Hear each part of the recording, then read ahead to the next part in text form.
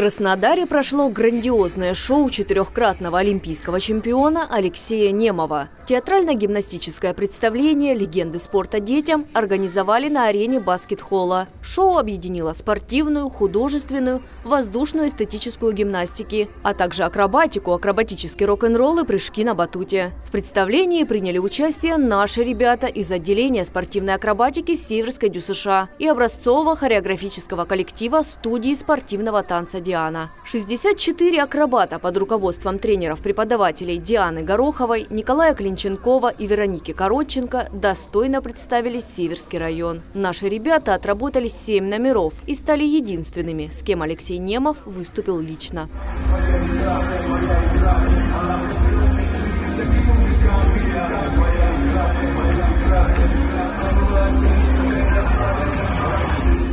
Яркие неожиданные номера акробатов, батутистов и воздушных гимнастов не оставили зрителей равнодушными. В представлении приняли участие более 500 человек. В их числе олимпийские чемпионы, чемпионы мира и Европы. Алексей Немов высоко оценил уровень наших северских акробатов, их сплоченность и мастерство.